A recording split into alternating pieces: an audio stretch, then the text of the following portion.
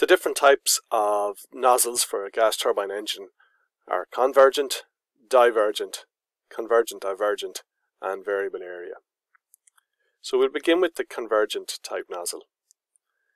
And with a convergent type nozzle, we have subsonic flow coming into the nozzle. And with subsonic flow, as the cross-sectional area reduces, the velocity increases and the pressure decreases.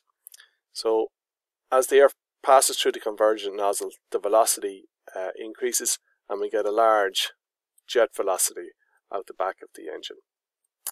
And that's in our interests because the thrust of the engine is the mass times the difference between the jet velocity and the aircraft velocity. So if the jet velocity is high, uh, we'll get a we'll get a greater thrust. So most um, aircraft, commercial aircraft anyway, if not all, uh, will have a convergent type uh, nozzle. So here's an example uh, of an engine and this is uh, the exhaust nozzle area and we can see that it is a convergent type. Now for divergent nozzles, um, if we examine a, a, helicopter, so take this uh, Gazelle helicopter.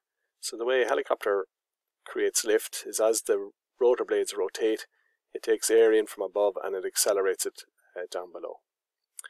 If we had a convergent type nozzle, the air would come out of the exhaust here and it would impact on the air coming down through the blades.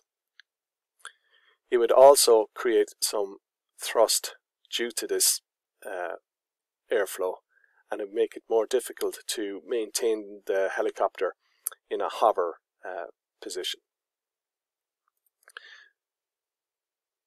Okay, so there's the air coming out. It offsets the air coming through the through the rotor blades. That's going to affect the amount of lift, and this um, jet velocity will create some thrust, and it, making it more difficult for the pilot to to hover the aircraft. Now, you know, the amount of thrust produced in here is is is very small. Um, so it only is an issue when we're trying to to hover, but it it doesn't have a big contribution to the aircraft when it is flying in uh, in the cruise.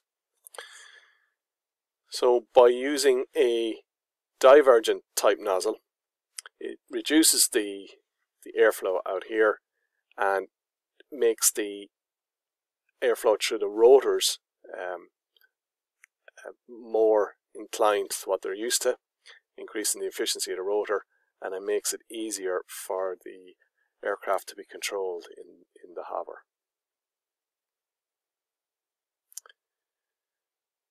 So by reducing that velocity out the back, we would use a divergent type nozzle. Just to go back. So we want to reduce the velocity from there to there and we can do that with a divergent type nozzle.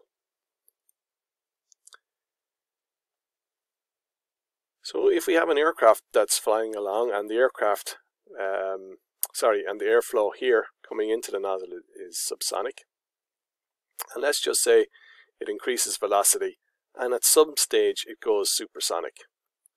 So when it becomes supersonic, we now have compressed flow and the velocity of the gases will increase if we convert our nozzle to a divergent section.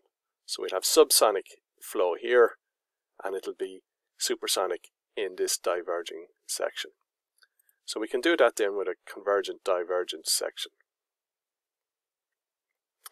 So with this convergent type convergent divergent type uh, nozzle. We have subsonic airflow coming into the into the nozzle. Its velocity increases at some point here at the throat of the nozzle. It'll go supersonic. Once the air goes supersonic, then we want a diverging nozzle to increase the velocity uh, further. So for supersonic aircraft, we could use a convergent divergent type nozzle.